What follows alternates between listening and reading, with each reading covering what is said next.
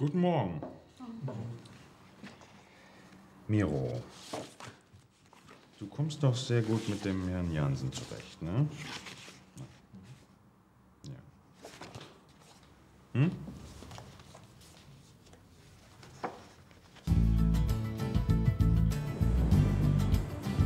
Also wir fahren jetzt so ein Stück aus der Stadt raus.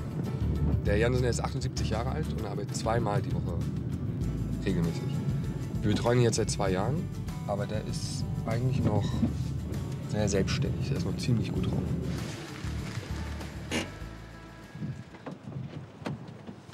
...24 Betreuer und 80 Kunden haben wir hier in unserer Arbeitsbetreuungsagentur in Magdeburg. Das heißt, Teilzeitarbeitnehmer werden begleitet in ihren Berufen. Berufe wie äh, Rechtsanwalt, äh, Arzt, äh, Lehrer, Fachkräfte auch, Ingenieure sind dabei, Beamte. Und das sind Leute, die ähm, äh, rüstig sind, aber nicht ganz ohne unsere Betreuung, unsere Begleitung äh, den Alltag mehr meistern könnten. Den schwarzen oder den grauen Anzug, Herr Jansen? Was? Den schwarzen oder den grauen? Ja, den grauen.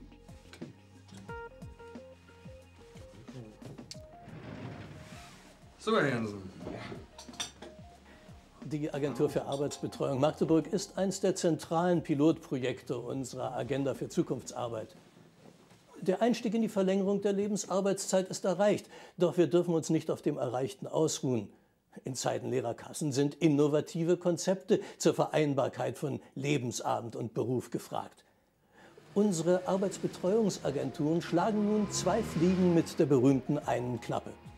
Die Alten können mit etwas Hilfe und Unterstützung länger in ihren angestammten Berufen arbeiten und die Jungen finden flächendeckend interessante und herausfordernde Jobs für den Einstieg in ihre Erwerbskarriere. Herr Jansen ist mal gut versorgt. Mit seiner Büroarbeit kommt er wunderbar allein zurecht. Und was machst du in der Zeit? Na, ich gönne mir eine kleine Pause oder ich fülle diese Dokumentationsunterlagen aus. Äh, Das muss ja alles seine Ordnung haben für die Agentur. Ja, ich habe das vor mir liegen. Ich brauche aber die Ermächtigung nach 24-2, weil dafür der Landkreis zuständig ist und nicht die Stadt Magdeburg. Horst, magst du einen Außeneinsatz übernehmen? Mit 434 bei Vivaldi Zeitarbeit. Ruf mir den Jungen mal rein. Nimm Schulze auch noch mit. Nach aktuellen Berechnungen des IFO-Instituts werden in zehn Jahren 50 Prozent der über 70-jährigen Arbeitnehmer eine Betreuung solcher oder vergleichbarer Agenturen dankbar in Anspruch nehmen. Ich bin sicher, betreutes Arbeiten wird ein Meilenstein sein auf dem Weg zu einer vitaleren und produktiveren Gesellschaft.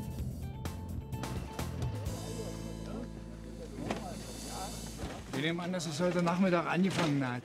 Wie ist es passiert? Ein 84-jähriger Industrietechniker hat plötzlich seine Sachbearbeiterin gebissen. Was haben Sie bisher unternommen? Den zweiten Stock komplett abgeriegelt und das restliche Gebäude evakuiert. Und dann haben wir auf Sie gewartet. Gut so, Junge.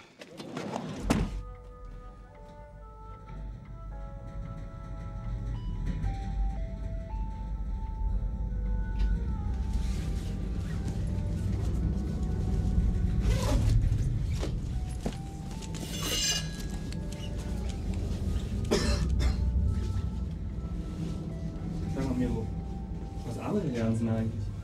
Zombiejäger.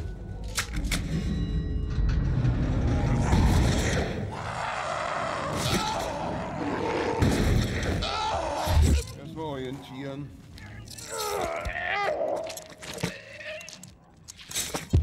Du gehst ins Wartezimmer. Wir treffen uns dann bei den Praktikanten.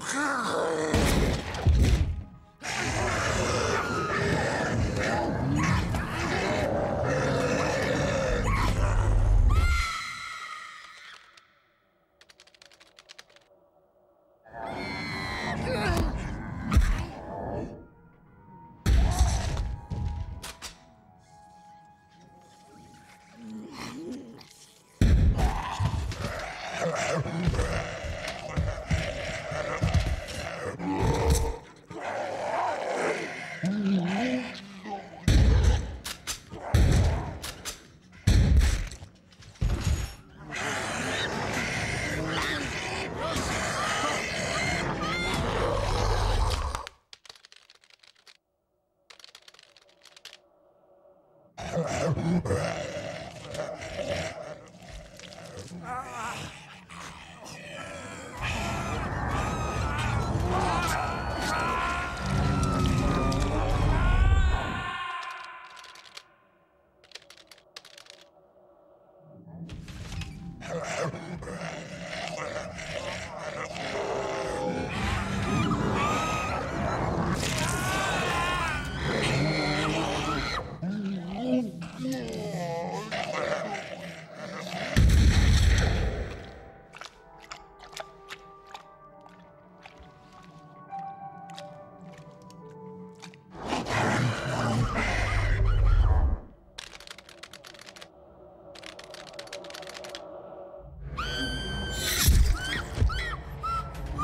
Panik!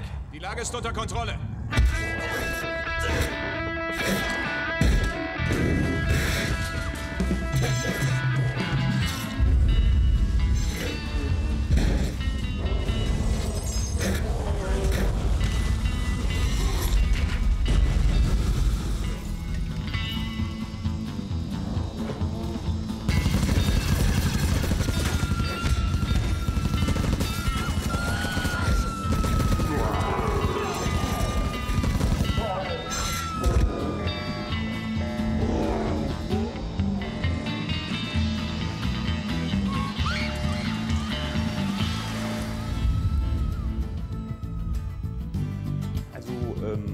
Betreuung äh, wird von unseren Kunden richtig gut angenommen.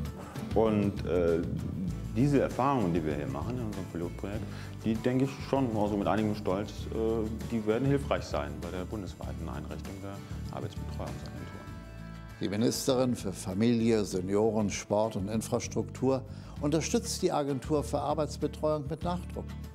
Unsere Gesellschaft kann es sich nicht leisten, auf das fachliche Know-how und die enorme Lebenserfahrung der älteren Arbeitnehmer zu verzichten.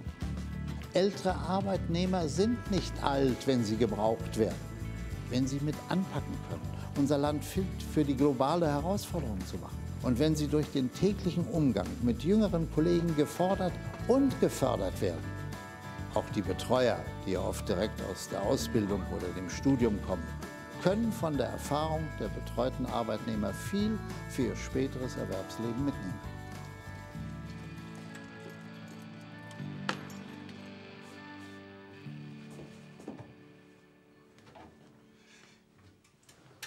Miro, wo siehst du dich in Zukunft? Na, ich, ich hoffe mal schon, dass, dass ich in ein paar Jahren einen Zeitvertrag kriege und meine Arbeit hier auch vergütet wird.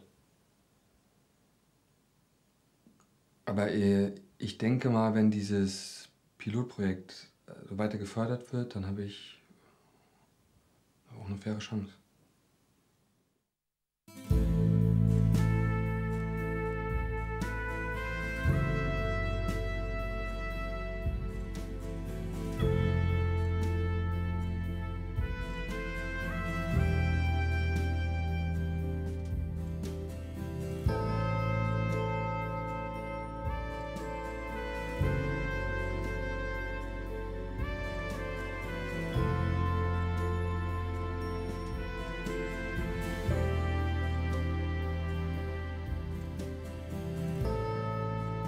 Herr Jansen, wie lange wollen Sie Ihren Beruf noch ausüben? Solange es Aufträge gibt und die Gesundheit mitspielt. Ich bin leider auf das Geld angewiesen. Mein Sohn ist Volontär und meine zwei Enkelkinder unbezahlte Praktikanten. Da reicht die Rente einfach nicht.